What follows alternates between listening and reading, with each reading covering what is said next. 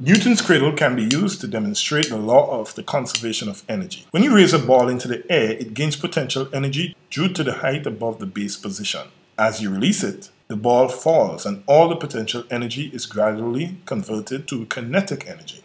When it hits the next one, all the energy gets transferred to it. That one then passes it on to the next one and so forth, like a shockwave. The final ball gains the kinetic energy and begins to move at maximum speed. The reverse happens, and all of the kinetic energy is gradually converted to potential energy. The total potential energy eventually gained by this last ball is equal to the total potential energy of the first ball, and it rises to the same height. In this way, it shows that energy is conserved. In an ideal world, this motion will continue forever, but in reality, energy is lost due to air resistance and sound, and the balls eventually slow to a stop.